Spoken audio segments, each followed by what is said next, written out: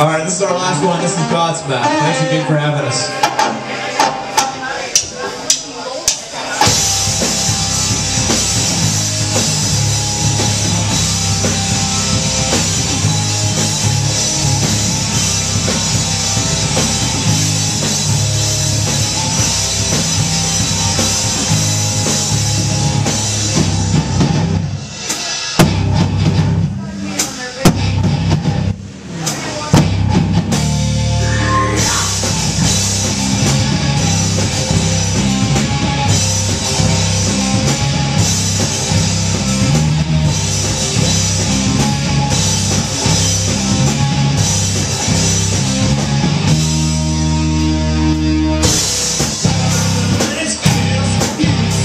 This as well.